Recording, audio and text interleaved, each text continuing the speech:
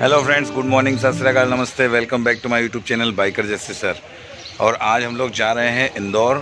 मेरे ख्याल से लॉकडाउन के बाद में और बहुत लंबे टाइम बाद इंदौर की राइड कर रहा हूँ मैं। तो जय की जो बाइक है, जो एवेंजर क्रूज़ जो अभी थी उसके पास हाँ थी हो गई है, क्योंकि जिस भाई से हम लोग लाए थे, वो उससे वापस मांग के ले गया। तो अब हम जय के लिए दूसरी एवेंजर इंदौर लेने जा रहे हैं। अभी हमने देखी है फ़ोटो में, जाकर देखेंगे। 99 परसेंट तो चांसेस है कि हम वो बाइक ले आएँगे। तो अभी बजी है सुबह की साढ़े छः, और यहाँ से हम लोग जाएँगे मेरे ऑफ़िस। वहाँ पर कैरियर कसेंगे, क्योंकि थोड़ा बहुत सामान भी लेके आना है। कैरियर लगाएँगे बाइक में, और फिर यहाँ से हम लोग रवाना होंगे। तो बिना टाइम ख़राब करते हैं, और मिलते हैं सीधे मेरे ऑफ़िस में। ओके गाइज़ तो हम लोग आ गए हैं अपने ऑफ़िस में, और वो रहा अपना कैरियर और ये रही अपनी बाइक फटाफट से अपने कैरियर को बाइक में इंस्टॉल करते हैं।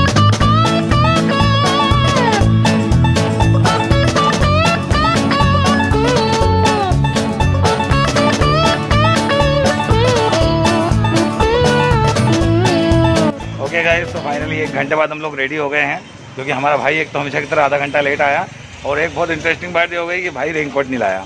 अभी जब सामान बाँध रहे थे तो भाई ने मेरा रेनकोट देख लिया। तो भाई बोल रहा है कि यार तेरे पास है इसलिए मुझे ज़रूरी है। अगर तेरे तेरे पास नहीं होता तो दोनों भाई के लिए होता, कोई प्रॉब्लम नहीं है। चलो तो फाइनली हम लोग रेडी है और अब हम लोग निकल रहे हैं यहाँ से। तो चलते हैं और फटाफट रवाना होते हैं।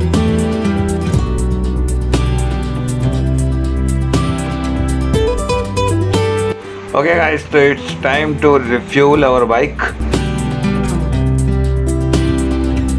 तो पेट भर गया है अपनी बाइक का। फुल करवा लिया है। और हम निकल पड़े।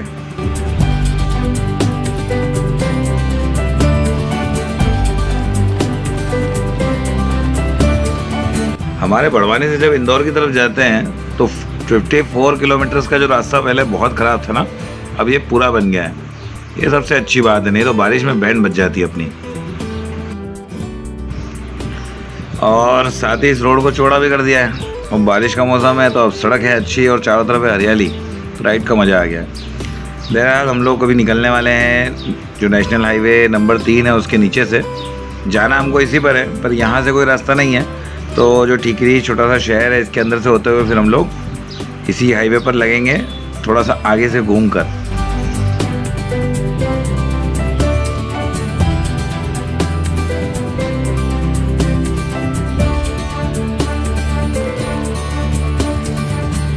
और हम लोग आ गए हैं उस जगह पर जहाँ से हम लोगों को फोर लेन पे लगना है। अब यहाँ से इंदौर तक पूरा फोर लेन है। रोड भी टॉप टॉप है और सब बढ़िया है। तो चलते हैं। यहाँ से हमारी स्पीड भी बढ़ जाएगी और अब टाइम भी हमको कम लगने वाला है। ये जो आदमी चल रहा है ना आगे हाँ ये, इसको लगानी है हमसे रेस।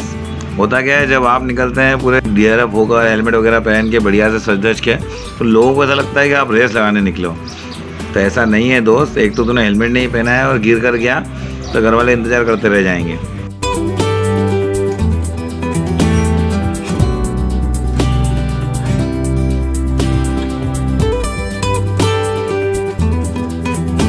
ये यहाँ पर है कसरावत फाटा। यहाँ से राइट लेने से हम लोग जा सकते हैं महेश्वर, जहाँ पर हमला पगला दीवाना की जो शूटिंग हुई थी जिस घाट पर, जिसमें मूवी में बनारस का घाट दिखाया गया है ना, वो यहाँ से करीब 12-15 किलोमीटर है। कभी जाएँगे, वहाँ पर भी राइड करेंगे अच्छा सा पूरा वीडियो बनाएँगे किले का।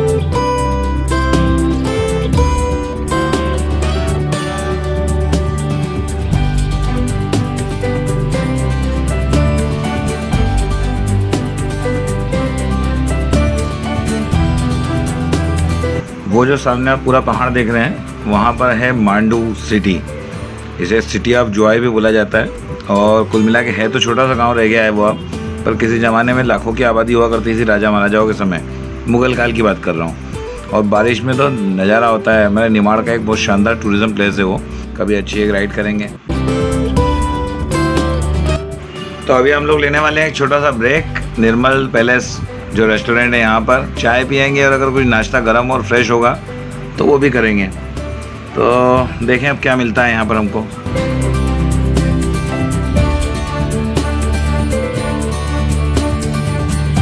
ये निर्मल ढाबा और अभी करीब 95 किलोमीटर चलने के बाद हमने फ़र्स्ट ब्रेक लिया है। यहाँ पर चाय और नाश्ता करेंगे, फिर सीधे इंदौर। तो करीब 20 मिनट का ब्रेक हो गया है। अब निकल रहे हैं।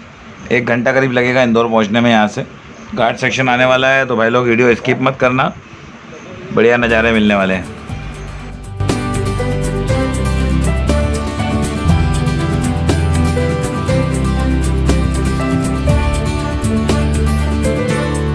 तो यहाँ से होता है घाट सेक्शन शुरू।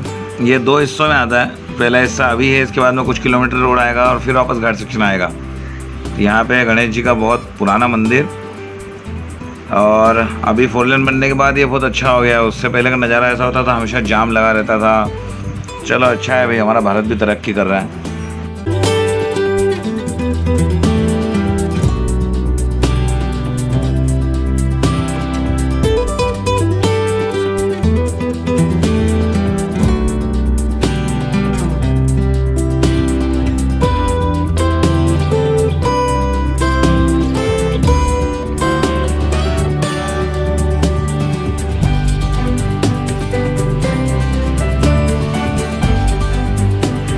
यहाँ पे जो दूसरा घाट आने वाला है मतलब इस घाट का जो दूसरा हिस्सा है, उसको भैरव घाट भी बोला जाता है, क्योंकि यहाँ पर भैरवनाथ जी का बहुत पुराना ऐतिहासिक मंदिर भी है। और वो मंदिर है पुराने घाट पर। आई मीन फोर लेन बनने के पहले जो रोड था, वो अलग था, और अब जो फोर लेन बना है, वो अलग जगह से निकला है। तो हम लोग जाने वाले हैं ओल्ड जो घाट था उससे, क्योंकि हमारे एरिया के बहुत सारे लोगों ने देखा नहीं है अभी तक वो। तो इस वीडियो में आपको वो देखने नहीं मिलेगा, क्योंकि वीडियो ऑलरेडी बहुत लंबा होने वाला है। तो उसका मैं एक अलग से वीडियो बनाने वाला हूँ। इस वीडियो के दो दिन बाद उसको अपलोड करूँगा। तो उस वीडियो को भी देखने के लिए जिस भाई ने अगर चैनल सब्सक्राइब नहीं करा है, सब्सक्राइब कर लो और बेल आइकन दबा लो जिससे आपको नोटिफिकेशन मिल जाए उस वीडियो का। अभी यहाँ से आप डायरेक्ट भैरव घाट के बाद कंटिन्यू करने वाले हैं हम और भैरव घाट का जो वीडियो है, वो मिलेगा आपको इस वीडियो के अपलोडिंग के दो दिन बाद। उस घाट का रास्ता आने वाला है, यहाँ से लेफ़्ट थोड़ा आगे जाके लेंगे। हाँ यहाँ से। और यकीन मानना भाई लोगों, अब क्योंकि इतने सालों से इसका यूज़ नहीं हुआ है तो अब नज़ारा और ज़्यादा शानदार होगा, देखने लायक होगा। तो वीडियो मिस मत करना। और अब इस वीडियो को हम कंटिन्यू करेंगे सीधे इस घाट के बाद। तो लेट्स गो अब राइड करेगा जय भाई। और अपन बैठने वाले हैं पीछे। क्या है, इससे थोड़ा सा पिछवाड़े को आराम मिलता रहता है। चलो भाई साहब। बोलो भाई गुरु।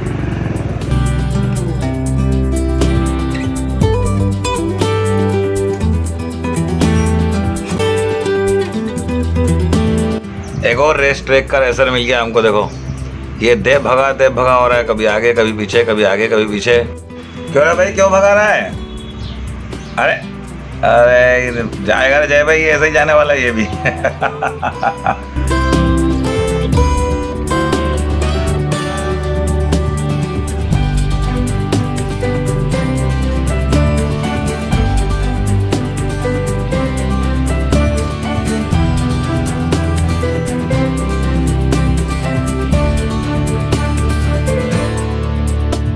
और यहाँ पर कोई ये बारिश शुरू हल्के हल्के छीटे आ रहे हैं। मेरा कैमरा गीला नहीं हो जाए, इसलिए हम लोग रुक जाएँगे ब्रिज के नीचे। हाँ ज़्यादा तेज़ तो नहीं है, देखते हैं हम कुछ देर रुक के, नहीं तो फिर रेनकोट वगैरह पहन के निकलेंगे। अभी हम लोग पहुँच गए इंदौर, और ये अपने एक भाई की कार है तो जो भी एक्स्ट्रा लगेज है हमारे पास राइडिंग बूट राइडिंग गियर वगैरह, हमारी जैकेट वो सब इसकी डिक्की में डाल देंगे, ताकि इंदौर में हमको ये वज़न लेकर ना घूमना पड़े। और वो भाई से बात हो गई है जिससे हमको बाइक देखनी है। अब यहाँ से सीधे बाइक वाले के पास जाएँगे तो मिलते हैं बाइक के पास। तो अभी आ गई है बारिश और बारिश ने रोक दिया है अपनी गति को। मंजिल की तरफ़ जा रहे थे। और ये है इंदौर का मौसम। सात सात मिनट देखेंगे, नहीं तो फिर रेनकोट पहन के निकलेंगे। चलते हैं।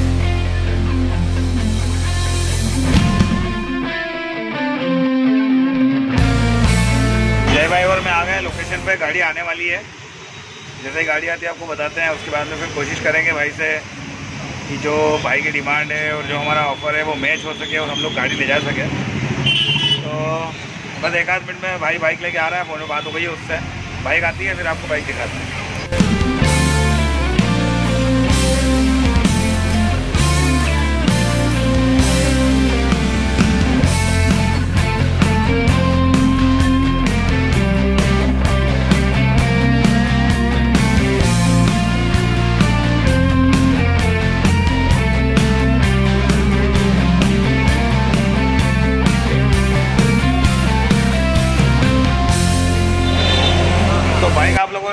बाइक एक नंबर है, एक हज़ार किलोमीटर भी नहीं चली है। तो मुझे ऐसा लग रहा है कि हमको इसकी प्रॉपर सर्विसिंग भी नहीं करानी पड़ेगी। और जो डील है वो भी डन होती नज़र आ रही है। अभी भाई क्या है पेपर्स ले लें एक बार पेपर चेक कर लें। कभी भी कोई डील पेपर चेक के बिना नहीं करनी चाहिए। ओरिजिनल पेपर देखो और फिर ही डील करो। ठीक है? एक पेपर आते हैं, एक बार पेपर चेक होंगे, फिर डील फाइनल होगी, फिर आपको अपडेट बताते हैं।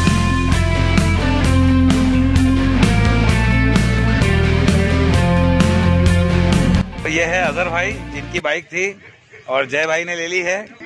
डन हो गया सौदा। फ़िलहाल हम लोग ये इंदौर आरटीओ के बाहर खड़े हैं। डॉक्यूमेंट भी दे दिए हैं। पाँच से दस दिन में भाई के नाम का आरसीप बन के आ जाएगा। सब कुछ हो गया शानदार तरीके से। अब यहाँ से निकलेंगे मार्केट और जो जो एसेसरीज लगानी है, वो परचेस करेंगे। तो यहाँ से चलते हैं सीधे मार्केट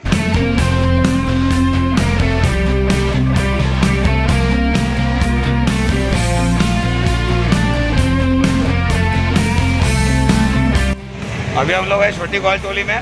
मेरी बाइक का क्लच थोड़ा सा नाटक कर रहा है तो दिखाने आए हैं। और जय भाई की बाइक का साइड ग्लास सेट करवाना है। अब भाई कर रहा है देखते हैं। ये गैस तो मैंने भी चढ़ाया था पर साला वो वापस क्यों हो गया वो सोच रहा हूँ मैं। केबल तो नहीं खराब हो रही इसकी। केबल हो रही है खराब। नहीं हार्ड पन तो आ ही रहा है। तो क्या लग रहा है अभी? चल जाएगी। देखो आप अगर टाइट हो जाती है हाँ। तो फिर आप केबल चेंज कर लेना नहीं अभी जा रहा हूँ बढ़वानी एक सौ साठ किलोमीटर। चली जाएगी रास्ते में तो नहीं खिंचा मरेगी। ठीक है ये मुड़ ज़्यादा रही ना हाँ। तो थोड़ी टाइट चलने लग जाती अच्छा केबल ये है इसका आउटर खिंचा गया है? है तो आप बदलते हैं तो क्या देर लगेगी यार? डाल दें। हाल तो बीस एक मिनट लगेंगे केबल ओरिजिनल लिया हो आप। कहाँ से? शाम वाले के यहाँ ठीक है वो भाई का साइड ग्लास देख लो। लगती है। तो अभी हम लोग खड़े हैं छोटी गोल टोली पे पिछले दो घंटे से यहीं है। मेरी बाइक का क्लच केबल चेंज हुआ है जय भाई गाड़ी में जो काम करा है आपको एक बार बता देता हूँ। सबसे पहले यहाँ पे डलाया है वाइट बल्ब लद्दाख की चिंदी बांधी है जो मैंने भी मान ली इस साल लद्दाख तो जा नहीं सके यही कर लिया। एक वो हॉर्न लगाया है काला वाला जो देख सकते हो आप। और जय भाई ने ले लिया है राइडिंग गियर बहुत औसम और कूल राइडिंग गियर है। जय भाई कैसा महसूस कर रहे हो? ये मैं थोड़ा सेफ़ फील कर रहा हूँ। सेफ़ फील कर रहा है भाई बढ़िया बढ़िया बढ़िया। और जय भाई की बाइक का अपन ने ले लिया है लेकर जो अभी मेरी बाइक पे लाद दिया है घर जाके इसको इंस्टॉल करेंगे। ये चिंदी अपन ने भी लटका ली है लद्दाख वाली। और ये हमारे वीर जी है अंकित छाबड़ा। जो भी काम अभी मैंने जय भाई की और मेरी भाई को बताया है पूरा काम भाई के यहाँ से हुआ है। छोटी गोल टोली में भाई की शॉप है Ankit auto parts? Ankit auto decor के नाम से वीर जी की शॉप है। बहुत रिजनेबल में बहुत सही रेट में और बहुत अच्छी चीज़ें हैं। तो बड़वानी वाला मेरा जो भी भाई या कोई भी किसी भी तरह की एसेसरीज बाइक से रिलेटेड चाहिए हो तो इंदौर आओ तो अंकित भाई के पास आना और अपना नाम ले लेना कि आज भैया ने भेजा है तो और भाई थोड़ा सा स्पेशल ट्रीटमेंट देंगे आपको।